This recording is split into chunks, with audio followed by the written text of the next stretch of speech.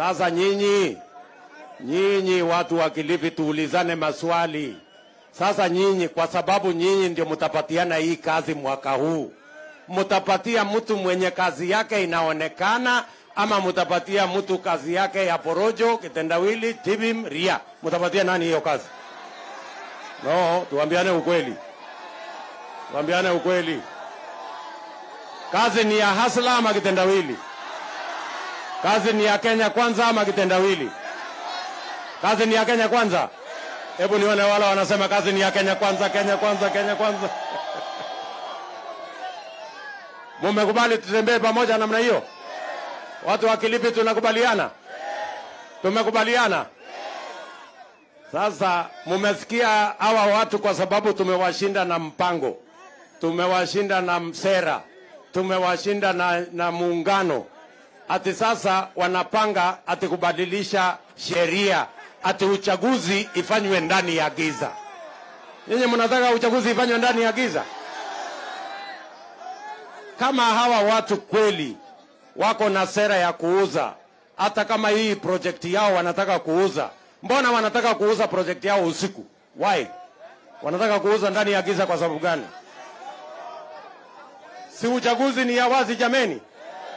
Si kura ya kila mtu ihesabike mjana na itangazwe peupe kama ni kwa redio, kama ni kwa runinga itangazwe.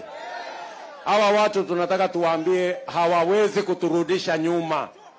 Wakenya wamechanuka, wamekataa kupangwa, na tumekubaliana ya kwamba safari hii hatufanyi nini, ate hatufanyi nini.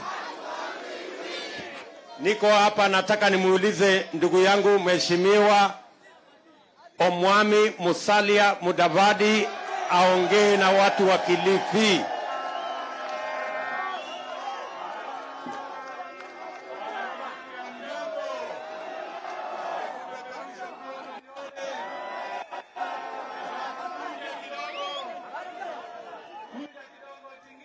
Tingiza, tingiza.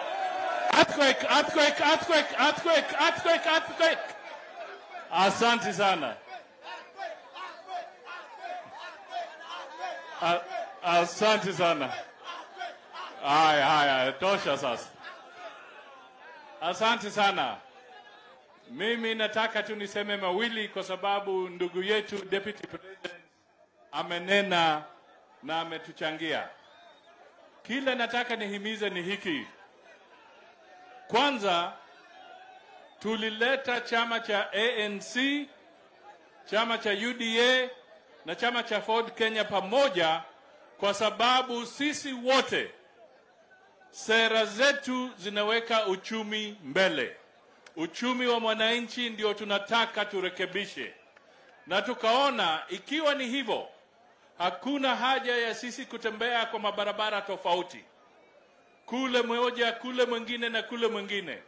Sisi tukasema ni vizuri tuje pamoja, ili tarehe tisa mwezi wa nane tunataka tupate ushindi kwa raundi ya kwanza. Sema round one. Round one. Round one. Round one. Hatutaki tuwe na uchaguzi wa kurudia.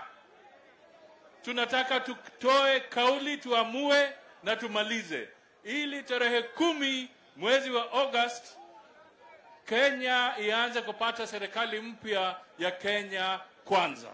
Ndio kwa sababu tukakuja pamoja ili tuanze sasa kazi ya kuhudumia wananchi, tuwe watumishi wao, tuwahakikishe wanapata pesa mfukoni.